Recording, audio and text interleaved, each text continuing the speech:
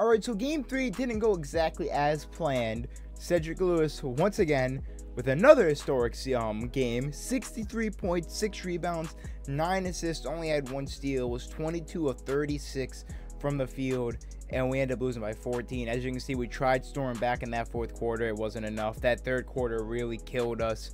Uh, we had no interior defense, no one was guarding the perimeter. Ayton at 20 and 11, 10 for 11 from the field. Uh, and Jay Rich is my third leading scorer with 10. Not enough. As you can see, Cole Anthony dropped 25 points in 16 minutes off the bench.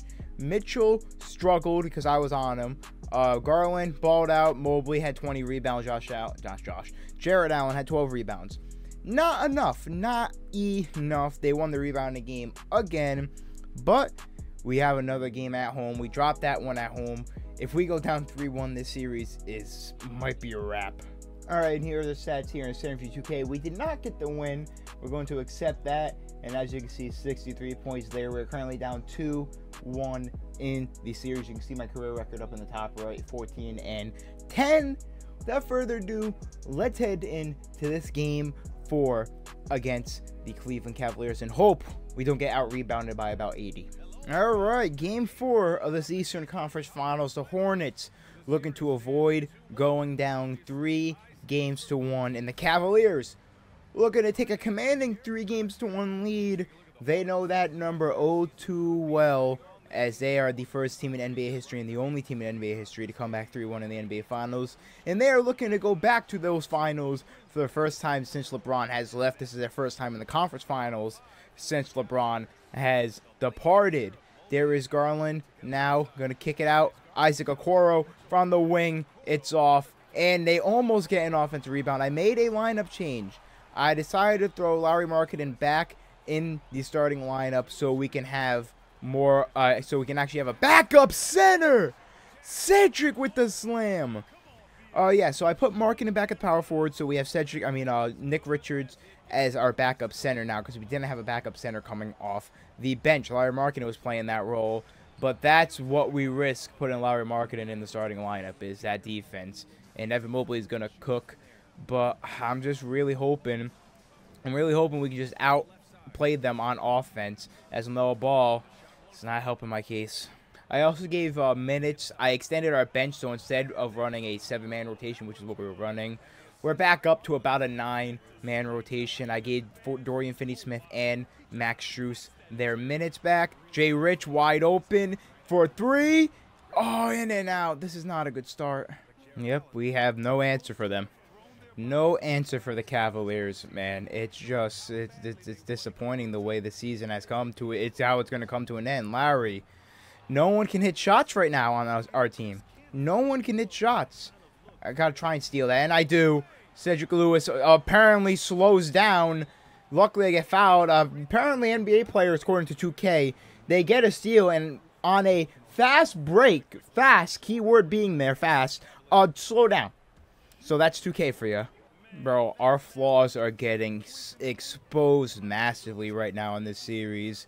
Our interior defense is next to none. And that is not the shot I wanted, 2K. I hit the square button like five minutes before I took that shot. As you can see, 11 rebounds to our 4 right now, down by 12. I'm trying to stop the bleeding a little bit. Nick Richards still isn't enough as like there's there's no answer for that. Like I can't even get mad that he made that shot because that is just insane.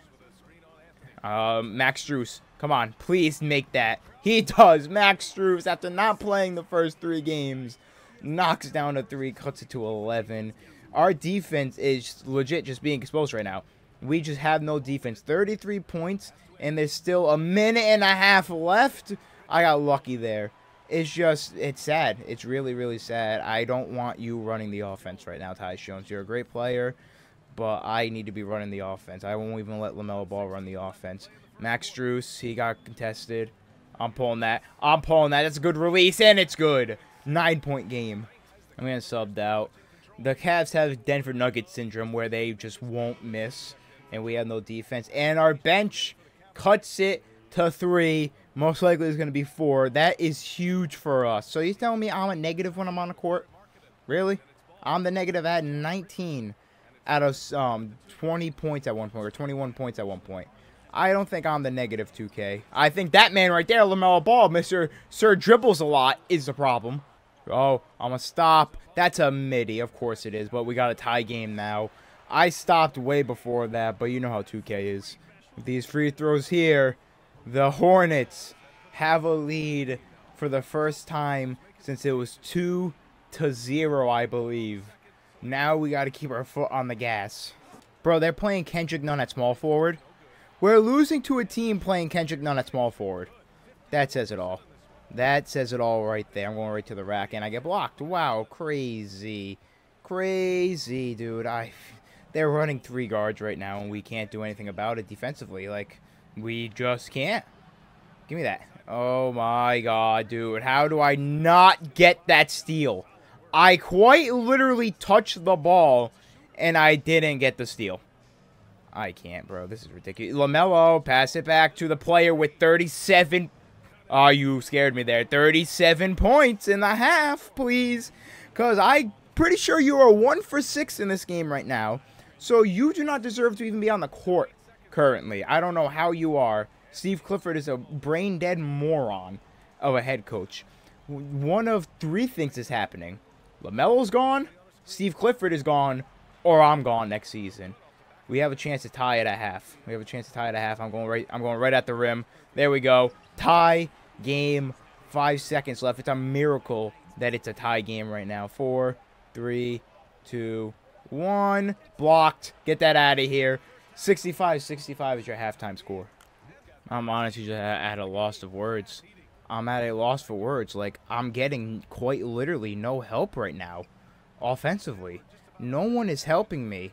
I like I don't understand what else I need. To, I have 42 out of our 68 points.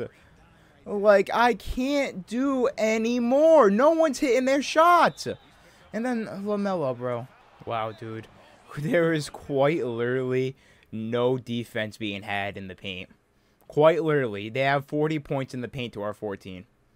Like, there, there's nothing. There, there is literally zero defense in that painted area. There is almost always no one in there. Bro, I quite literally played... I quite literally... I guarded two players on that possession. Got the miss. And they get the offensive rebound and hit a bucket in.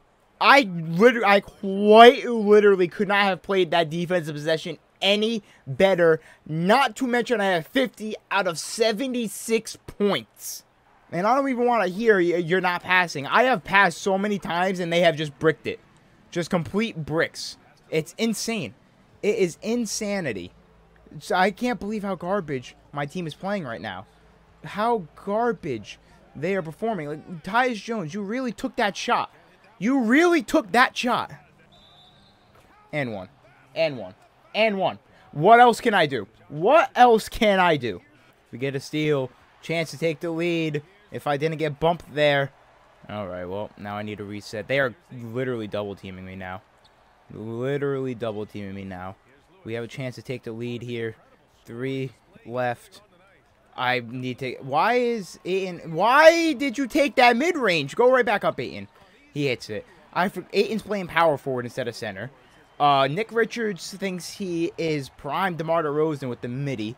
I, I, you can't explain. I don't think anyone also has double-digit points besides me. I forget, but one of our teammates has nine. I think it's Markkanen has nine. Other than that, everyone's below nine. Everyone. And I'm getting subbed out here. You know what? Last time I got subbed out, it's a tie game, though, this time. Last time I got subbed out, we were down by three.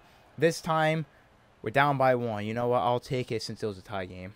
We've gone on a quick 6-0 run due to a LaMelo turnover. I mean, not turnover. LaMelo ball steal. We just need to keep the pressure because if we go down 3-1, I don't think there's coming back. The fact that we're even up in this game is insane. And my defense on Donovan Mitchell has been huge to that. Look at that. How is that a foul? If I just hold the stick straight up, he's going to hit the shot. But if I hit triangle, it's a foul. Oh my god, LaMelo Ball just got another steal. LaMelo Ball has came up huge in this fourth quarter. Two steals. All right, LaMelo. You may be ass on offense, but by God, on defense so far in this quarter, you have been electric. Unbelievable. I have another 63 point game. As Ayton with another defensive possession. Keep cutting, Lauri. Please do not take that shot. I'm taking it. Ah, oh, I missed it. That would have, this arena would have possibly exploded if I made that shot. Donovan Mitchell just missed another shot. He is shooting. Why did we call a timeout there? Did I break an NBA record? I did. I love now it shows the record, even though I broke it twice. I dropped 65 and I tied it with 63, and now 2K is like, you know what? Now we're going to show him breaking the record. Now we're going to give him a celebration. And you may say, like, oh, that's because you broke it again. When I broke it with the 65, I didn't get that. Maybe because I was, I might have been on the road as Donovan Mitchell picks up his third. I might have been on the road where I dropped 65. So you know what? That would make a lot of sense. They're subbing me out. We just exploded in that fourth quarter. I think they're going to end up subbing back in. So I don't know why I'm talking here. Yeah, 27 seconds left, though. That's fine. LaMelo Ball absolutely went off in that fourth quarter. Defensively and offensively at the end. Of course, I had to feed him with the pick and roll. But he was actually making the shots, unlike before, earlier in the game when I tried feeding him with the pick and roll. And he couldn't shoot a ball in the ocean. What a second half. It was really a fourth quarter comeback. The Cavs were up by as many as 14 at one point, and it felt like this game was long over. And it took 73 points from Cedric Lewis to come all the way back and beat the Cleveland Cavaliers here to force a game. Well, not really force, but to bring a game five out to Cleveland. Series now knotted up two games apiece. A pivotal game five coming up in Cleveland. Final box score Cedric Lewis, one for the ages, 73 points, five rebounds, seven assists, a steal, and a block. Only two turnovers, 27 to 39 from the field, 4 of 8 of downtown, 15 to 15 from the free throw line. And I ended up becoming a positive 7. I was responsible for 88 of our 129, I think we scored points. LaMelo Ball was responsible for 52 of those. He turned it up in that fourth quarter. He ended it with 21 and 12. That's what I needed for my second leading scorer. That's what I needed. If we look at that fourth quarter, he had 11 of his points on 4 for 4 shooting in that quarter. That's insane. Markkanen gave us 13 points. He's been playing well. Uh, 8 and only 11 and 14. And after that, we had no scoring. Literally none which is just not enough. But Cedric dropped 73, so it is what it is. And for the Cavaliers, Mobley, unstoppable. We're marking it on him, but I mean, he was unstoppable with Nick Richards on him. So honestly, we have to just live with this. And also, this helped us. Donovan Mitchell, 9 of 26, 4 of 17. I, I can't play better defense on him. I quite literally can't. I held him to 2 of 9, 0 of 5 in that fourth quarter. And in that second half, he was 4 of 16, 1 of 10, compared to only missing one shot in that first. Oh, that was first quarter. In the first half, he was 5 of 10. So that was huge. And then Jarrett Allen, 16 rebounds. He had three offensive ones. I can't really, we can't do much about that. Garland, though, got clamped up a little bit. 3 of 9. Wasn't even in foul trouble. And he just was not taking shots. We had that on lockdown. Other than that, let's check the points in the paint real quick. So as you can tell from the first half, it was points in the paint were 32 to 14. At the end of the game, it was 56 to 54. What a turnaround. That second half, we outscored them 40 to 24 with points in the paint. That's going to be for me. GG.